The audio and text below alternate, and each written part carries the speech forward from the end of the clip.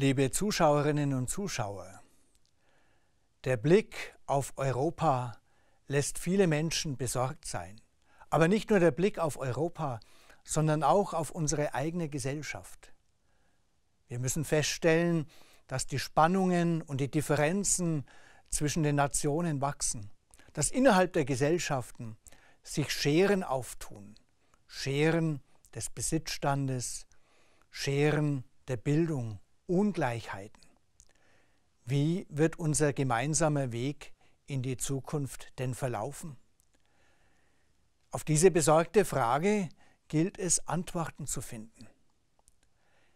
Liebe Zuschauerinnen und Zuschauer, wir als Christen haben einen besonderen Beitrag zu leisten, damit dieser gemeinsame, friedvolle Weg der Völker in Einheit und Gerechtigkeit gelingt. Als Christen erkennen wir selbstverständlich Individualität, unterschiedliche kulturelle Profile an, von Heimat, von eigenen Traditionen. All dem gilt es mit Respekt zu begegnen. Aber über allem steht doch das Wort des Apostels Paulus, dass wir durch die Taufe bereits einer sind in Christus, dass es zwar durchaus Grenzen geben mag, aber niemals Abgrenzungen und schon gar nicht Ausgrenzungen.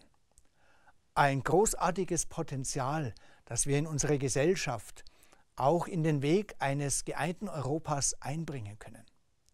Schauen wir auf unsere Wurzeln, auf dieses Einssein in Christus, das uns schon immer mit Menschen verbindet, die uns vielleicht rein äußerlich ferne erscheinen. Aus dieser Einheit, liebe Zuschauerinnen und Zuschauer, gilt es zu leben. Und diese Einheit wollen wir als Christinnen und Christen fruchtbar machen. In unserer Gesellschaft, in unserem Freundeskreis, an unserem Arbeitsplatz, in unserem Miteinander. Ich rufe Sie auf und ich lade Sie ein, liebe Zuschauerinnen und Zuschauer. Gehen wir gemeinsam diesen Weg an. Packen wir es an. Bringen wir unsere geistlichen Potenziale mit in die Gesellschaft ein, auf dass der gemeinsame Weg in Europa gelingt. Und er wird gelingen, wenn wir, wenn ich anfange, dieses Pfund fruchtbar zu machen, dort, wo ich stehe.